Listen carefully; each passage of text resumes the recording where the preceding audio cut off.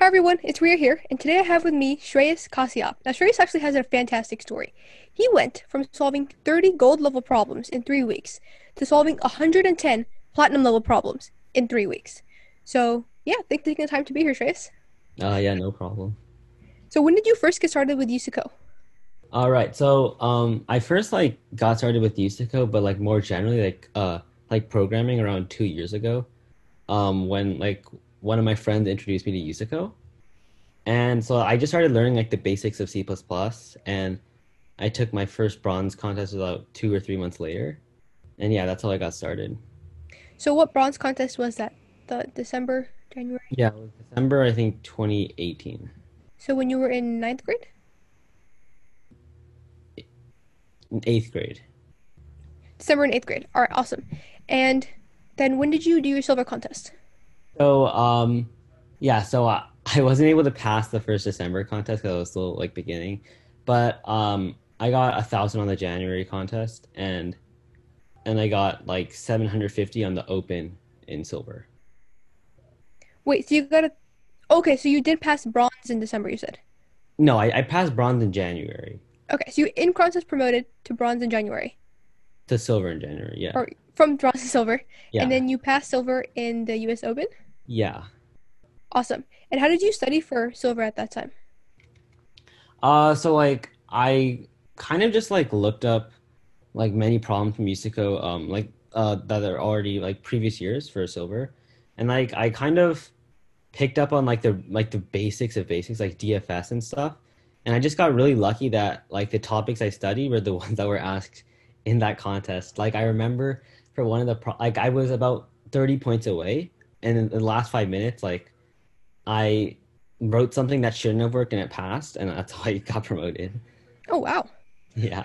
That's pretty cool. Um so then you're in gold by the end of your 8th grade. Right, right. And so what was your goals from there? Were you trying to make platinum camp or Yeah, so I, I I was trying to make uh platinum like that seemed like the next step to go to, but I mean, I I didn't really put in much time or like like I wanted to, but I didn't know how to work on getting to platinum. Interesting. So you you were really motivated. That's how you were able to go from bronze to gold super fast. But Right. when you were studying for gold, you didn't know what to do when to study. So Yeah, exactly. Like things like like Dijkstra and stuff, it just seemed really foreign to me and like it was really hard for me to learn. that's all right. That's uh, yeah. unfortunate. Um, so then you kept, I guess, kind of working on gold for two more years. Um Wait, now the timeline doesn't seem to fit. Wait, maybe it was ninth grade that I did bronze. Yeah, it was sorry, it was ninth grade. Okay, so we shift everything up by one year. Yeah, okay. So you then we're working on gold for not two years, only one year. yeah, just for one year. Okay, so you were working on gold for a whole year, and how were your gold scores that year?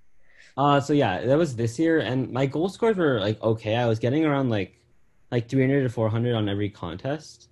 Um and like yeah, I was I was getting about like one problem each time and I was getting close in the second one, but I like never really got there. And what were the common things you were missing on the problems you weren't getting?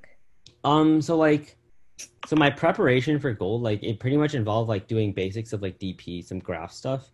But like, uh, like when there when there came like some unorthodox DP problem or like some like weird graph problem, I just like I just really struggled and like uh, broke down. So that was the main main problem. I see.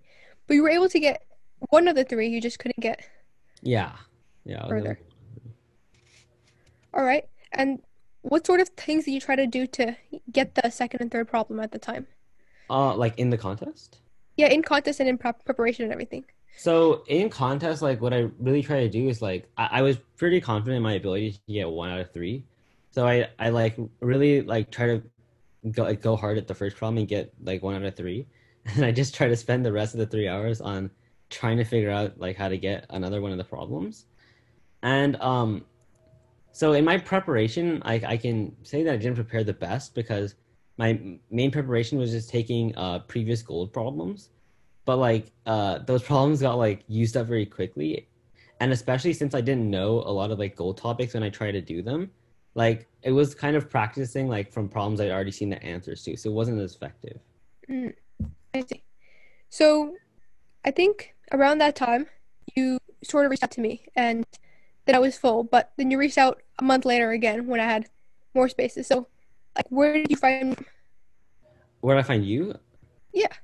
Um. Okay. So, so so after um, this was after uh Gold Open, and like uh like in in the Open contest, I got like probably like I got really close to getting to platinum. So then I kind of decided like, especially with the pandemic, like like uh, USACO is probably like something I can put a lot more time into.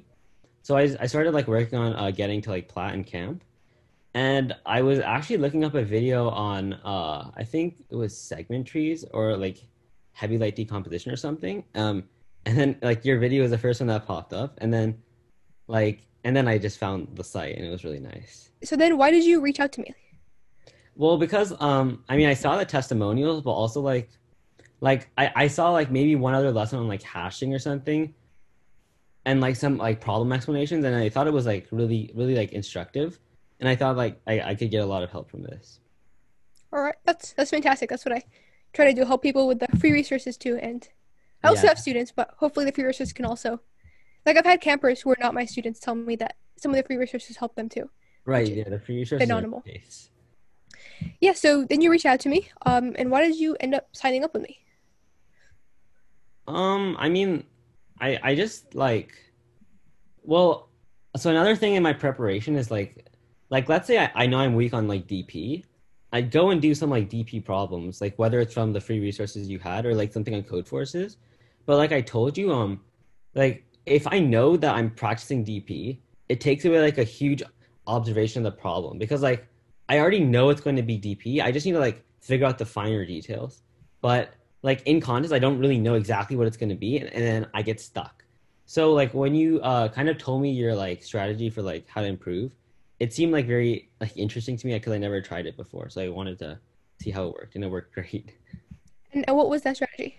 So uh, basically, like uh, the way you give problems is not uh, like uh, like what's it called topic by topic. It's more of like like by level. So like you're it, you're kind of like practicing like a like ha- like a problem like how you do it in a contest, and then like you're coding it, and then like learning from the solution if you need to. But you're also able to like take away like important like themes about each problem.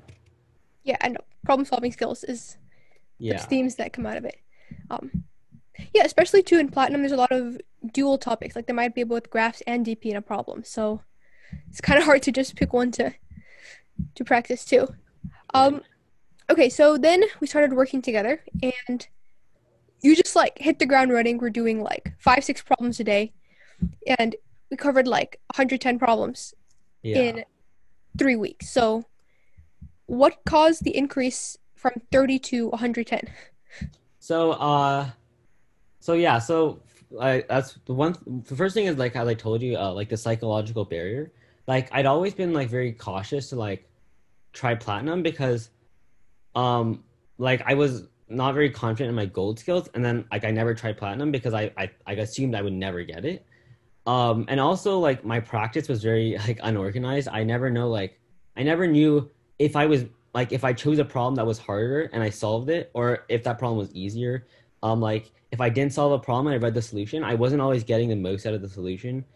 Um, it was very hard to like. It was very hard for me to feel like I was improving. I guess. Um, and like the organization itself was just absolutely terrible. So um, like when I was getting like these five or six problems a day, like it it, it felt more of like instead of just like doing as many problems as I could in a day and then not getting as much out of it, it felt more of like here's your five problems to focus on for the day. If you get it, you're gonna get something like good value out of it, and then like that like psychology helped me get through the problems. I guess. That's great to hear. And yeah, I know that like when you took the US Open contest, you were also didn't get all three gold ones, so that also might affect the psychological barrier. But now you're able to get some platinum problems without the editorial, which is so. How does that feel now that you're getting platinum problems on your own? like uh so when when we first started problems i kind of assumed like they'd be like some sort of like old old gold kind of like easier plat but then like in the first week you gave me uh like this platform from like 2018 Um, and I, I got pretty excited and then like I solved it without the editorial and I was like, okay, that's actually really good. Like I'm making progress in the first week. So I think that was nice. Yeah, I mean, if you're doing five, six problems a day, then within a first week, that's like, you know, what's it, like 60 problems in six days? Kind of ish. No, 30, not 60. Yeah, 30, 30. Yeah, 30. Um, and that's like what you've been doing in three weeks. So, yeah, obviously. And also, like, working on problem solving skills instead of just uh, reading the solution. And yeah, so you were saying, kind of going back to like when you were saying you weren't getting as much out of the editorials before. What kind of caused that? So, uh, yeah, when it comes to USACO, like, USACO doesn't always have the best editorials. And also, like, something you told me is like, uh, like the the solutions they present are not always like, the, like the like the most intuitive ones. It's kind of like contrived, I guess. Like, Mm, Yeah. like if, if a problem can be solved with like something like something easy, they'll they'll like present some like very hard solution that works. And it was kind of going right over my head. And uh, like Code Force editorials, like a lot of the time they're like written in Russian and then converted to English. So I'm assuming like there was something lost in translation and I just wasn't understanding. Okay. So now what do you do to get more out of every problem that you're unable to get by yourself? Right. So like uh now um if I'm not able to get a problem, I'm like I'm sitting on the problem for longer in terms of like trying to think and like I'm making more observations as I go. Like before when I was doing problems like in contest, I would look at a problem for about like 15 minutes. I'd make a ton of observations and if I got the solution I'd go code it. If not, I'd sit at my, like sit with a pen and paper for another like hour and a half and just stare at it. Like I wasn't making anything. But like now after like 15 minutes I'm still able to like make some observations and then solve problems, which is um which is good, but if I'm not able to actually solve the problem, like if I read um a solution, I'm tending to get more out of it, but even if I don't get as much, I I have the opportunity to like ask you or go to a Q&A call, which is very helpful. Yes, I kind of want to go back to, to when you were saying about um making observations as you're going. So so tell me a little more about that. Like what caused you to make continually making more observations even after the first 15 20 minutes? Okay, yeah, sure. So um like so now if I spend like 90 minutes on a problem, there's a very high likelihood I'll get it. Um like even if it's like pretty difficult plat, well like like respect it like but um like before in contest like the reason I wasn't able to make more observations is because like let's say my first intuition was DP and I made some observations about it, but there was something that doesn't work.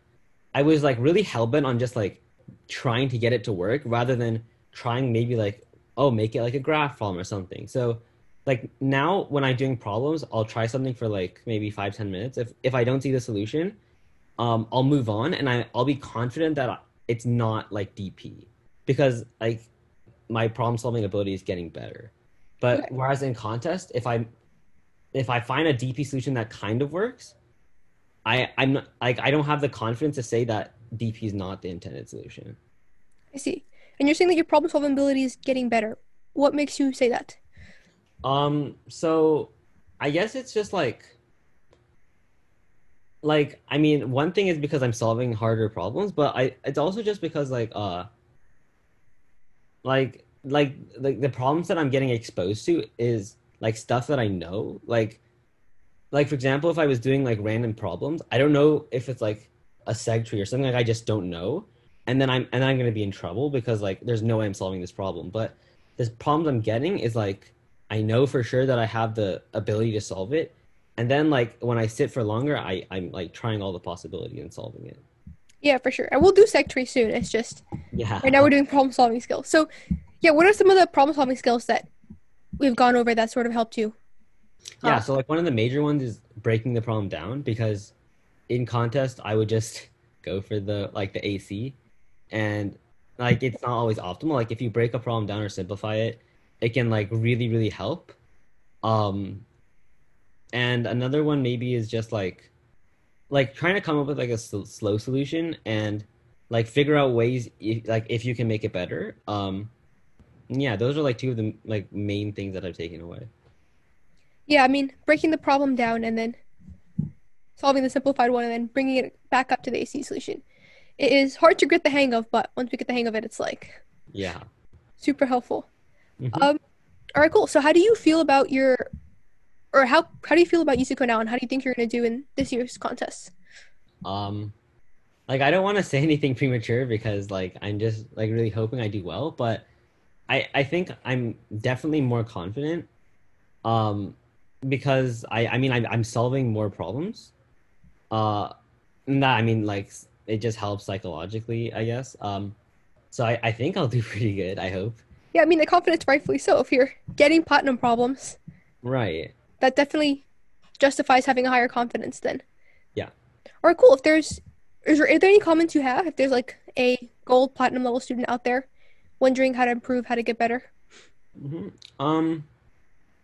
So it, I mean, like definitely, if you want, like you should take a Reese course if you have time. Um, but like if if you're trying to just practice by yourself, I guess uh, like my my main my main tip would maybe just to like create some like organized way to study. Um, but like, but like try to create like a randomized set of problems that you you solve from, so you're at least getting like exposed to how a contest would feel like. Awesome. Yeah, and definitely I do have a minimum time requirement, but it is not 100 problems in 3 weeks as a time requirement. Yeah. For sure. And so, yeah, you said that the organized way of study definitely helped you bump up your problem solving numbers. Um, what about did not being stuck as often? Do you think that helped you? Oh, like what do you mean? Like getting unstuck on problems when you got stuck? Uh, yeah, so that yeah, that also helped me a lot. Um, like that's also another psycho psychological thing. Like, uh, like knowing that maybe the solution like won't bear any fruit, and I can try something else. That's like something that, like some like something that I think comes from experience, which I've gained over this three weeks, which is just really great. Um, but like yeah, I think that's just another great thing.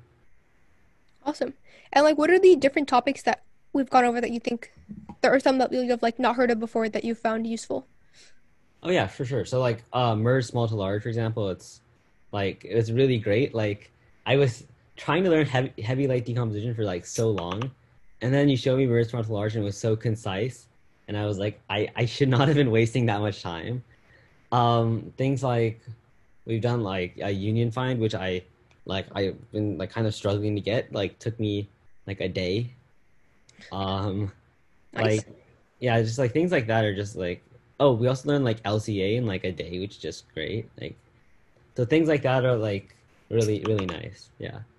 And for heavy light, if you are super interested, I do have a video on it that you skip through. yeah, so uh like in terms of heavy light, like I saw like I got an email today from like Google CodeJam, like the finals were like published. And then the first problem it turns out was actually like heavy light decomposition. And then I was like, wait a second, I can just try merge small to large on this. And it was like it was pretty nice. So yeah, that that's I mean it- it's great. That's fantastic. Yeah, I don't think heavy light is actually needed because all those problems can be, or the vast, vast majority, like, okay, of all the heavy light ones I've seen on USACO, they could all be solved by merge small to large for Yeah. sure. At Yeah. the collision mumbler. Um, yeah, okay, is there any last comments, tips, advice you have for anyone listening? Um, I mean, like, I guess just like just stay motivated. Um, like even if you're not able to solve things, like don't lose hope. Uh, like I guess yeah, never lose like hope. Always like just believe in yourself, I guess, and yeah, just stay organized. And if you practice, it'll it'll definitely show up. Fantastic. Um, yeah, thanks for taking the time to talk to everyone, Shreyas. Yeah, no problem. Bye. Bye bye.